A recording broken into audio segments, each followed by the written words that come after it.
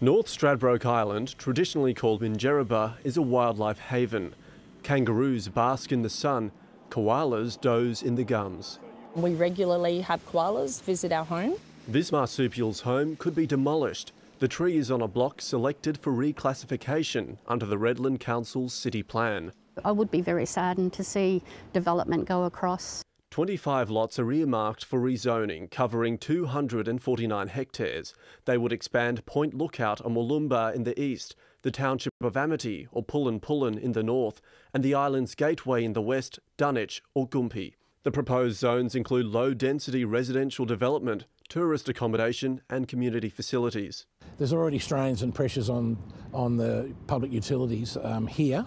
Biologist Dr. Jeffrey Gerhardt says the island's koalas have a rare resistance to chlamydia. For some unknown reason, some mysterious reason, they don't um, show signs of the disease. The species is clinging to existence. This year it was listed as endangered. We need to learn what it is that makes them resistant, resistant against chlamydia in order to save uh, koalas on the mainland. The Queensland Government directed the council to change its planning scheme so the native title holders, the Quandamooka people, could develop the land as they wish.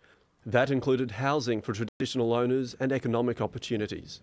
We can keep saving the habitat as much as we can, but people need to reflect on what damage was done where the current developments happened as well. And do they want to exchange that development therefore leaving the land as it is? I guess not. The island is in the grip of a housing crisis exacerbated by an explosion in short-term rentals. Locals have suggested that instead of bushland, areas already cleared are used for building homes. There's hundreds and hundreds of hectares of former mining areas. They even have roads leading to them. The public has until Monday to give feedback on the rezoning that could seal the fate of the island's fauna. Alexander Lewis, ABC News, North Stradbroke Island.